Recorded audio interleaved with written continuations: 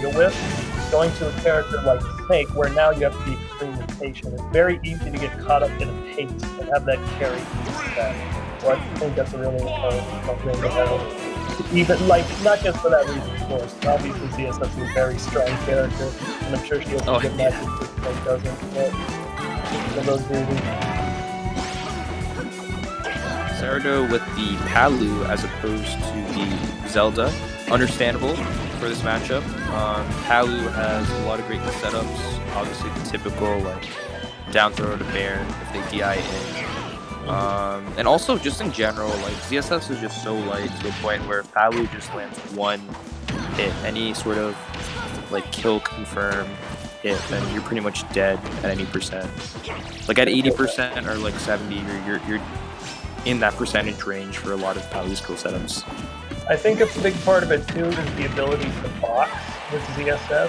Um, Zelda's neutral tools is pretty limited. They're very strong, but they're not good for like setting a presence out there. They're good if you can confirm into them or if you have a hard read.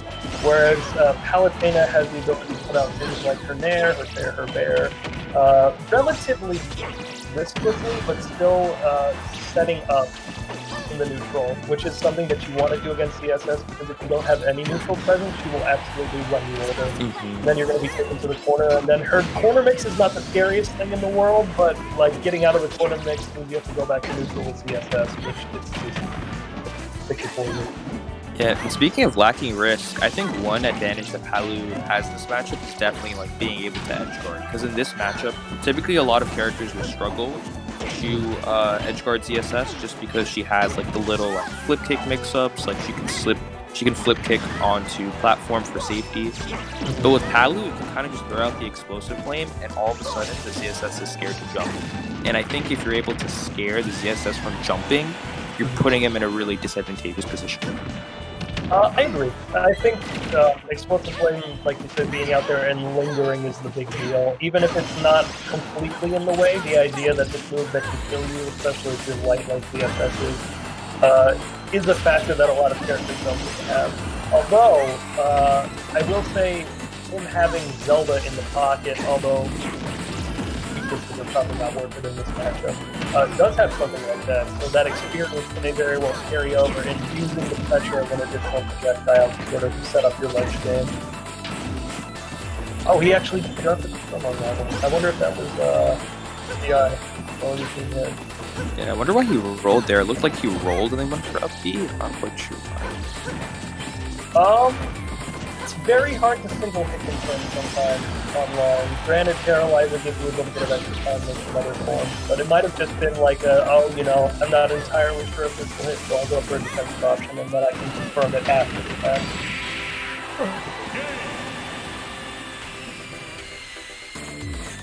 Killed very. I'm surprised I killed stage.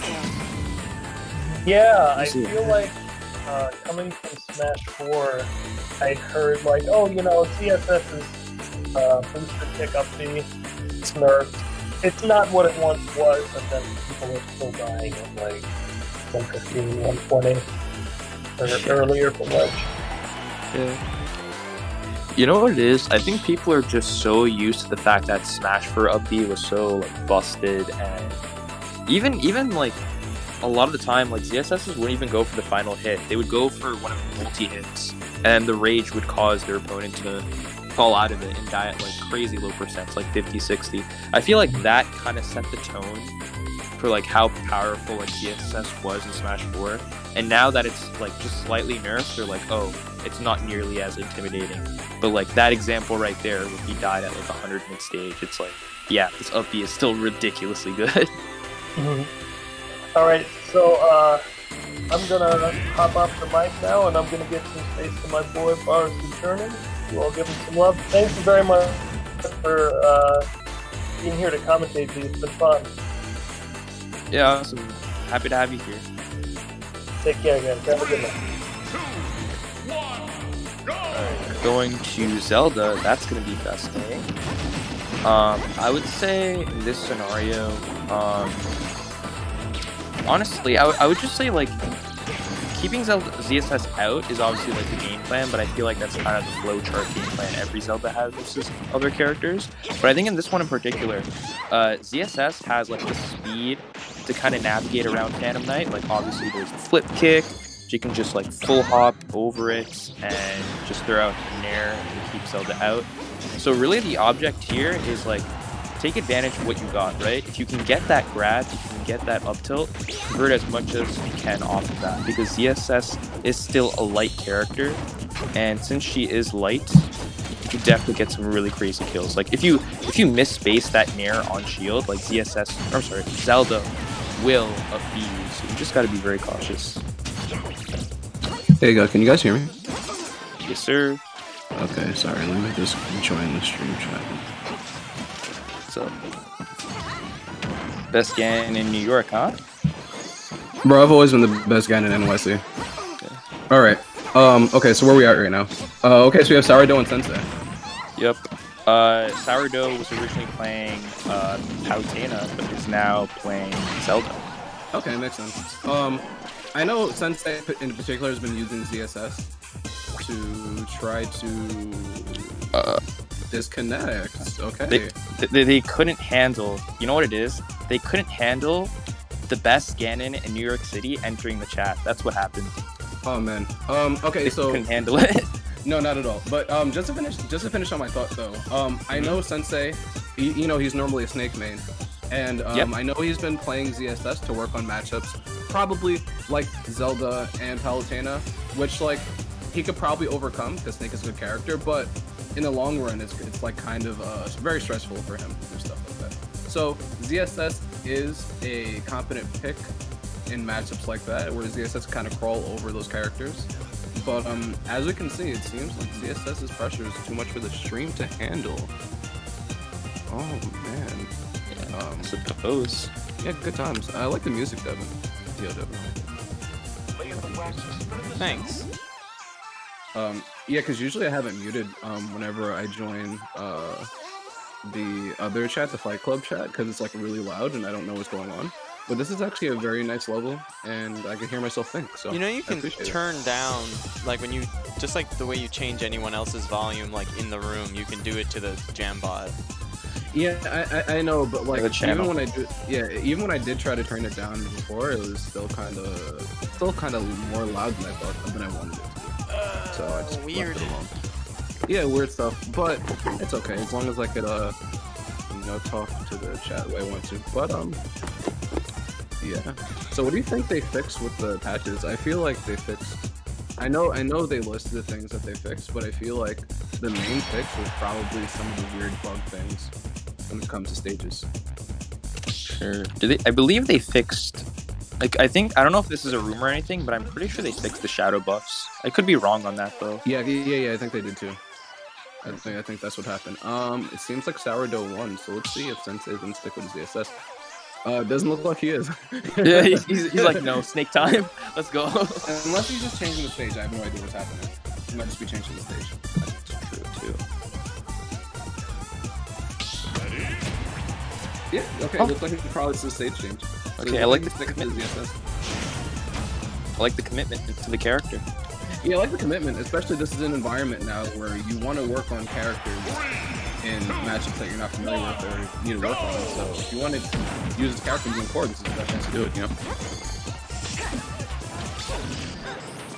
And, you know, right at the start of the match, this is something that probably Snake would not be able to do against Zelda. Get in her face and try to pressure her at the corner where you want her where, where you want her to be with less space as possible. Yeah, certainly, certainly. And I, I was just saying earlier with the uh, the first game, Zelda's one of those characters where like she has that trouble to get in, like she lacks that approach. But once she's in, she can just convert so much. Like her throws are like decent combo throws. Her kill power is amazing, and her out of shield up B is probably one of the best out of shield off in the game. Honestly, like it's ridiculously good. Yeah. And I was just about to say, it seems like SaurDeux with his out out of shield options are doing pretty well, and it looks like he's calling out a lot of these aerial approaches coming out from Sensei, kind of telegra- telegraphing them a little bit.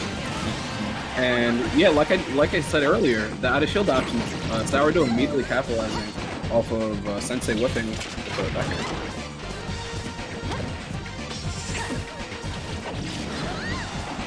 Yeah, and uh, right now, uh, Sensei's just trying to um, keep Zelda at the ledge, but heavily committed with that up smash. It didn't matter because ZSS is fast.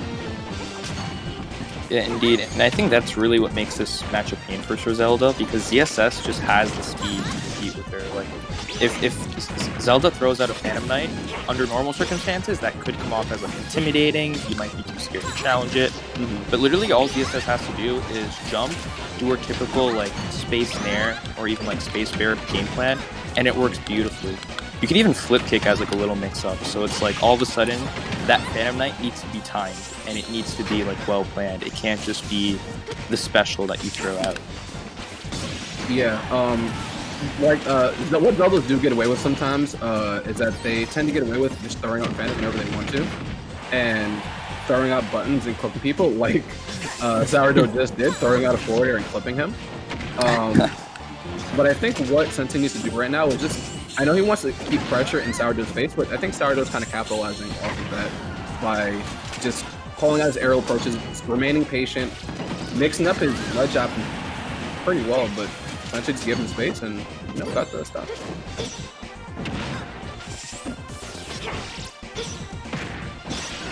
Okay. It's a dash attack. Yeah. Um.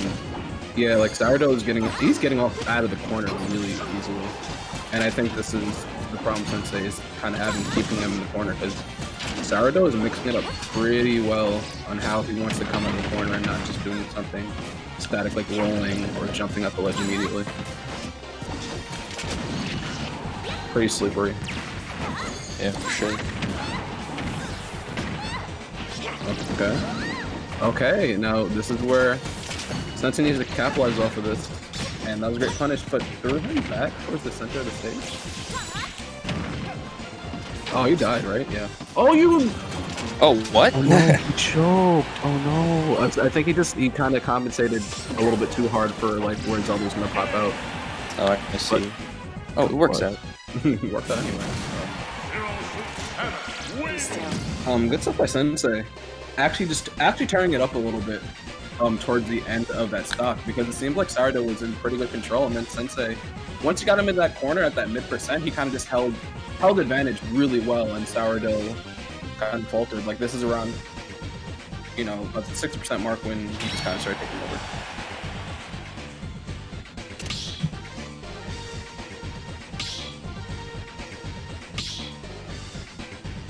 He- really went out there as well.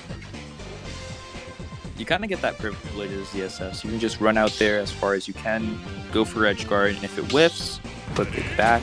Yeah. If it doesn't whiff, then you get that kill, and you get happy. Yeah, that's great. Um, and the SaurDeux has been doing a really good job of just calling out Sensei's aerial approaches, but um, it just seems like Sensei towards the end of it just figured it out. Um, let's see what we're gonna do going into game four, right? I like the pick, Kalos. It's a good stage for Zelda. Give himself a little bit more room to breathe.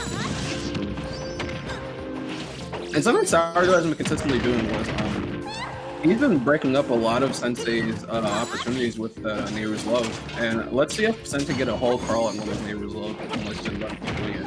Because if he's gonna let him keep doing it, yeah, keep doing it, SaurDeux. But like, Yeah, I feel like at some point the Nayru's love is just gonna become too obvious, and then Sensei can kind of just take advantage of that.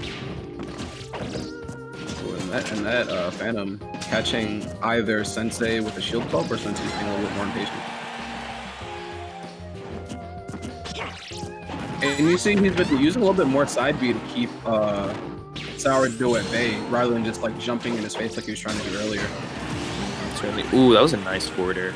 Yeah, called out that side B. I was just praising him for with a, forwarder to face. Yeah, that's gonna that's gonna take it. Um, yeah, I wonder how Sensei's gonna navigate around this. It seems like a lot of the time he's trying to retreat to these platforms, and he just, I don't know. It do, it doesn't seem like he's used to that. Because typically you'll see like Sensei likes to kind of go in, likes to like push forward a little bit. But in this scenario, whenever he's trying to jump back to the platforms, he's like, oh, how do I get back to center stage? And then as soon as he tries to go back to center stage, he gets hit by Phantom Knight. So hopefully he'll figure out a way around it. Um, game plan really is to just mix your jumps. Yeah, and this is exactly why SaurDeux picked the stage for exactly what you're saying. Um, it just seems like he's always he always has a chance to get out the Phantom and get out his uh, big bodyguard. Kind of just like deal with the ZSS in the mid-range game. And that's why you've been seeing Sensei out for a lot more side beats than usual. But it seems like he hasn't been able to pressure him as much as he wants. But you know, it's still a close game. Like you know, if he can get a quick back air like towards the end of the stage, you know, it's Yeah. Uh, you, you can't touch that shield. Yeah. Yeah, mashing a little bit too hard in the shield there. That a little bit too happy with the A button. Um, I was, um, I was just about to say that was a really good stall by Sensei, and then he goes next I, I thought I was actually about to pop up blue. I was like, wow, that's like a brilliant way to come back to stage. And then he SD, and I'm just like, wow, like it's a brilliant way to SD. Like yes, I'm a snake man. uh, yeah, with that being said, um, still a pretty much even game. It seems like Sensei has been slowly taking control of the mid range, but uh, oh yeah, you can't do that to that forward air, man. Um, especially hit him with super forward air on shield, man. You cannot up B, up B out shield.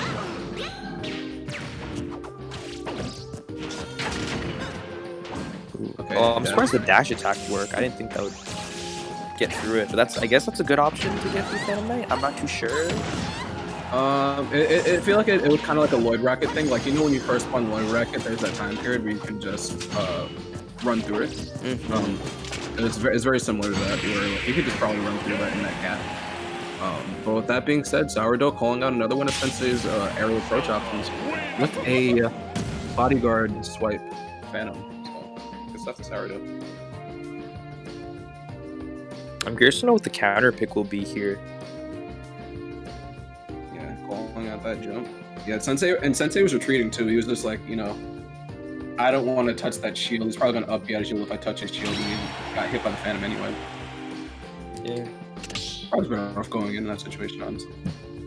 Because like if you hit, uh, you know, if you hit Zelda, Phantom drops. So, but that's what it is. What stages do you think uh, he's banning right now?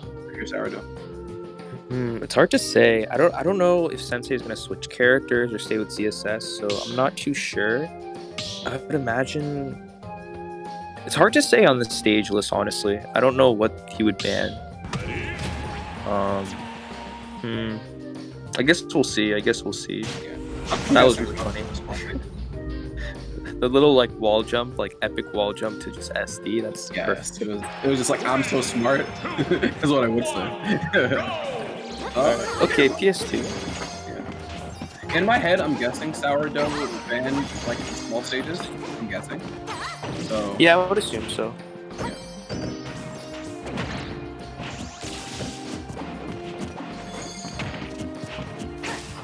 Uh, all right. Sensei kind of just won out.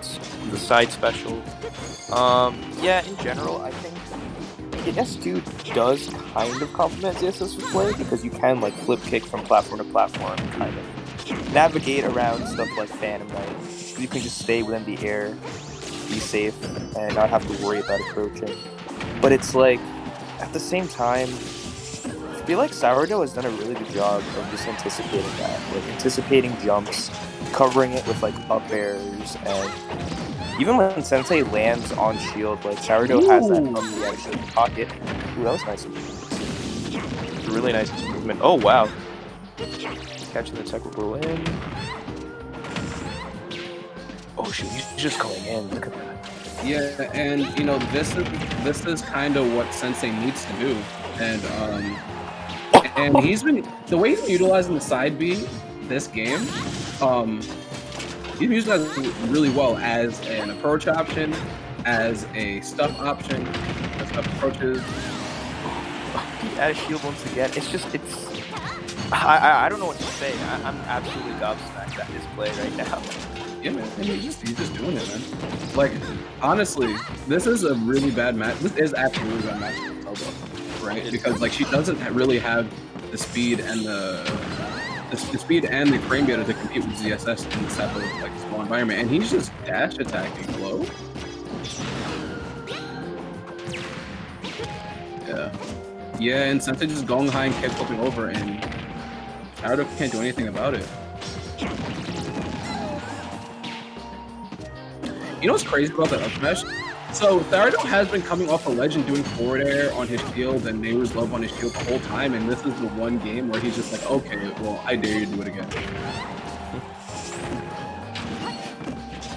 It's definitely a lot of like confidence. Oh man, he didn't do that. Oh, that's. Oh, he wanted to go for the swag, paralyzing, oh, or the down smash. Didn't do that.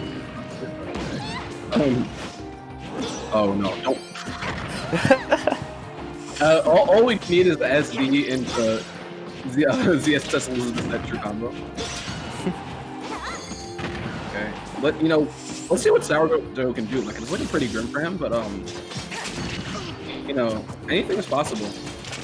Yeah, once he gets him around like 60 or 70, that's when he can start looking for kills. Like right now, SaurDeux is in survival mode. Ooh, that, did you see the coverage on that? Oh wow, that's smart.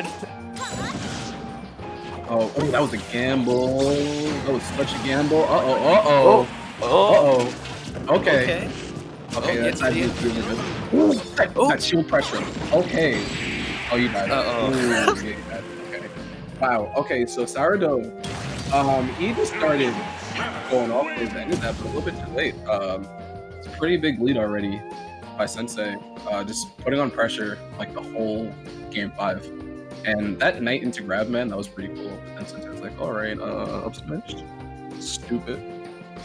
I, I, th- I think Sensei just got a little bit lazier that stock, and then as soon as SaurDeux just took his second stock, he's like, "Yeah, now I kind of have to like win this," and he just went right for that up smash. Um, Yeah. That said, though, I loved like right here. He does a lot of nice uh, movement.